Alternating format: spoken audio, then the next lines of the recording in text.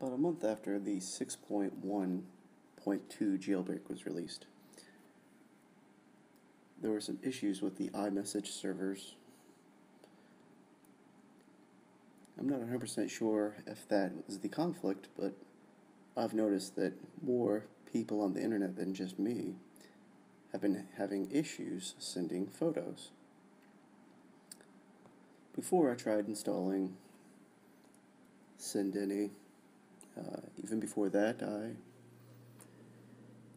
turned off iMessage, reset my network settings, the whole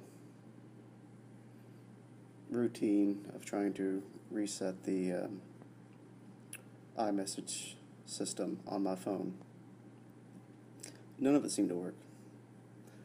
Uh, recently, the iMessage Unlimited Media tweak that the developer also has created the same thing for SMS to unrestrict the file size allowed by iMessage and through SMS.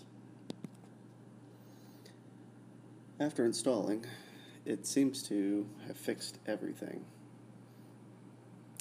I don't find this to be a uh, random coincidence because it had been months since I've tried to s- fix my iMessage.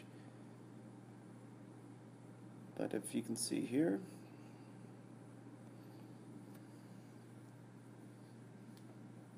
um, I was successfully able to send these to my friend, and I've actually been sending to my other friends as well without issue when before there was.